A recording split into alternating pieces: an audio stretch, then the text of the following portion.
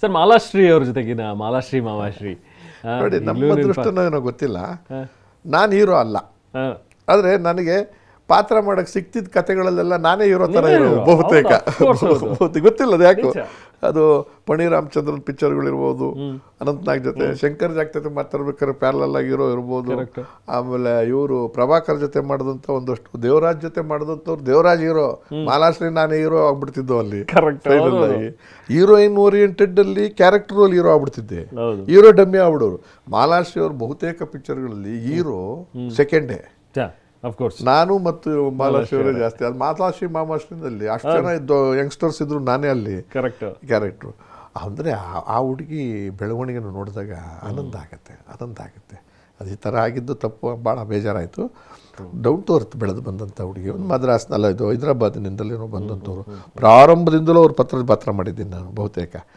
ಸಾಯಿ ಪ್ರಕಾಶ್ ಅವ್ರ ಸೀರೀಸು ಮಾಲಾಶ್ರೀ ಮಾಮಾಶ್ರೀ ಪೂರ್ತಿ ನಾನೇ ಆಮೇಲೆ ರೇಣುಕಾಚಾರ್ಯ ರೇಣುಕಾ ಶರ್ಮಾ ಅಂತ ಇದ್ರಲ್ಲ ಅವ್ರದ್ದು ಅದು ಹೀರೋಯಿನ್ ಓರಿಯೆಂಟೆಡ್ ಅವಳು ಅಷ್ಟೊಂದು ಮಾರ್ಕೆಟ್ ಗಿಟ್ಟಿಸ್ಕೊಂಡಾದ್ಮೇಲೂ ಕೂಡ ಬಿಹೇವಿಯರ್ನಲ್ಲಿ ಅಹಂಕಾರ ಬರಲಿಲ್ಲ. ಸೆಟ್ಟಲ್ಲಿ ಯಾರಿಗೂ ಇರಿಟೇಟ್ ಮಾಡ್ತಿರಲಿಲ್ಲ.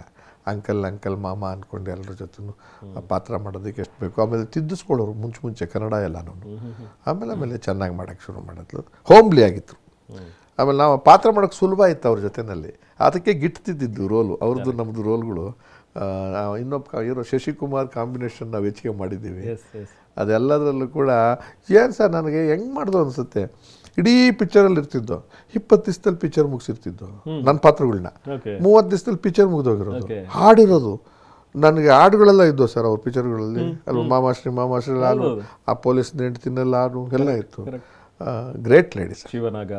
ಶಿವನ ಶಿವನಾಗ ದೊಡ್ಡಣ್ಣ ನಾನು ಮಾಡಿದ್ದದು ಅದರಲ್ಲೂ ಹಾಡಿತ್ತು ಹೋಮ್ಲಿ ಕಂಫರ್ಟಬಲ್ ಆ್ಯಂಡ್ ಆಕೆನ ಸಿಕ್ಕಿದ್ರೆ ಹುಡ್ಕೊಂಡು ಹೋಗಿ ಮಾತಾಡಿಸ್ಬೇಕು ಅನ್ನೋ ಗುಣ ಇತ್ತು.